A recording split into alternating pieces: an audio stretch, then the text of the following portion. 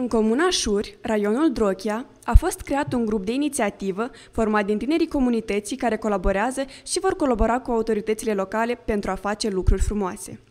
Totul a început în luna mai, când din partea Institutului pentru Inițiative Rurale, în parteneriat cu ONG Univers din raionul Drochia, a venit propunerea de a crea un grup de inițiativă. Tinerii, cât și locuitorii satului Șur s-au dovedit a fi foarte receptivi și dornici de a se implica în diferite activități informative, cât și practice, care au ca scop promovarea, implicarea și mobilizarea tinerilor în soluționarea problemelor și necesităților locale.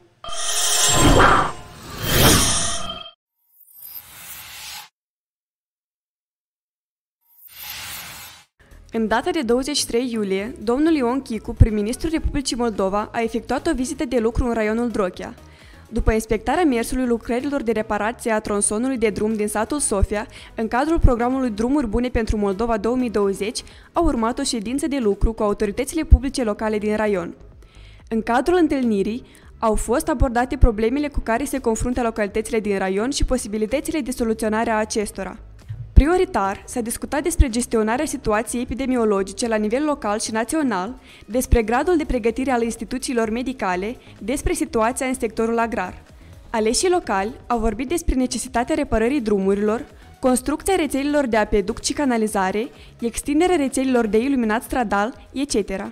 Problemele în raionul Drochia, ca și în întreg teritoriul țării, sunt uh, similare și aici, bineînțeles, subiectul principal este situația pandemică și adaptarea autorităților publice, locale, centrale, la aceste noi realități. Cu toții înțelegem că va trebui să trăim cu această pandemie o perioadă oarecare până omenirea va găsi o, o soluție, vaccin sau medicament eficient. Deci și, bineînțeles, problemele care sunt generate de această situație pandemică. Am vorbit despre sectorul economic, în special vorbim aici și despre problemele care le are agricultura. Chiar dacă noi cu toții considerăm că Nordul Republicii nu a fost atât de mult afectat de secetă și cataclismele naturale, totuși și aici a suferit foarte mult sectorul agricol.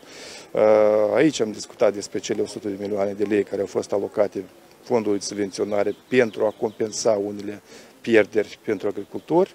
Am vorbit despre cele programe de suport din partea statului și dobânzile la credite și rambursarea TVA, uh, pentru care, bineînțeles, că îi vizează și pe, pe agricultori.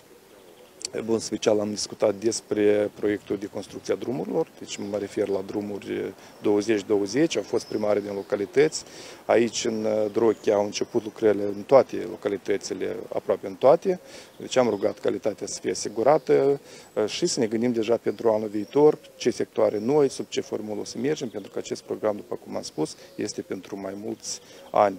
Am uh, discutat, bineînțeles, și despre situația de la Spitalul Raional din Drochia. Aici uh, vorbim în primul rând despre dotarea cu echipamente necesare, utilaj necesar, uh, aparate de mm, oxigenare, este vorba de aparate de radiografie portabile care sunt absolut necesare acum și mai multe elemente de acest gen. Am discutat despre probleme legate de reluarea procesului de educație, atât preșcolar cât și uh, școlar.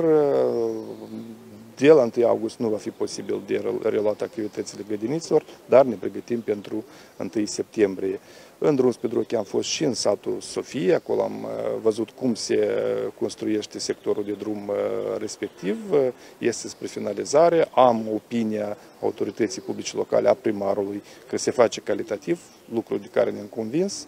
Uh, până la 1 septembrie este necesar de reparat și școala, Uh, altfel nu au acces copiii și acest lucru va fi efectuat. Deci, după cum vedeți uh, și cum am spus, uh, problemele sunt similare în Druche ca și în toată țara, dar ce am văzut aici, dorință mare de a le soluționa. Și nu doar, nu doar dorință, dar și idei și propuneri concrete cum de făcut. Noi, în asemenea cazuri, venim cu suport.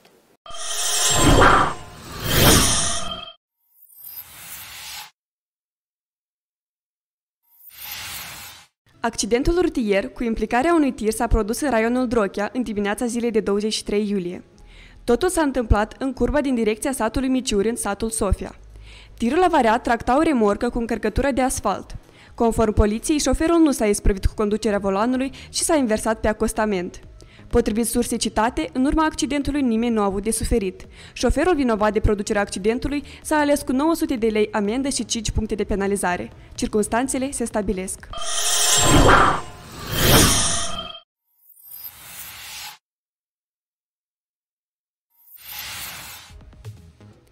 În data de 18 noiembrie 2019, AO Pro Cooperarea Regională, în parteneriat cu AO Casmed, au lansat apelul de granturi pentru suma totală de 750.000 de euro. Bani disponibili din fondurile Uniunii Europene. În acest timp, au fost depuse peste 80 de propuneri de proiecte, care ulterior au parcurs un drum lung de selecție. A fost o luptă crâncenă, evaluatorii alegându-i pe cei mai buni dintre cei mai buni. În cele din urmă, 24 de propuneri de proiecte au fost aprobate de delegația Uniunii Europene, dintre care două propuneri de proiecte cu suma totală de 90.000 de euro din raionul Drochia. E îmbucurător faptul că în raionul Drochia crește numărul de proiecte implementate. Felicitări pentru AO Centrul de Resurse Univers din orașul Drochia și AO Alianță Fermierilor din satul Cotova. Starea de urgență în sănătate publică pe întreg teritoriul Republicii Moldova se prelungește până la 31 august 2020. Ce se va schimba de la 1 august? Parcurile de distracții, cinematografele, cluburile de noapte rămân închise. Este interzisă organizarea de ceremonii, nunți, botezuri, înmormântări. Regimul de autoizolare este menținut pentru cei care se întorc în țară. Grădinițele și taberele de recreere pentru copii rămân închise. Este interzisă adunarea în locurile publice în grupuri de mai mult de 3 persoane. Activitățile teatrale de concert și cinematografele în aer liber vor fi reluate începând cu 1 august. Începând cu 7 august, este posibil ca regimul de autoizolare obligatoriu pentru cei care se întorc în Moldova să fie ridicat. De la 20 august vor fi permise antrenamentele în săli pentru federațiile sportive naționale.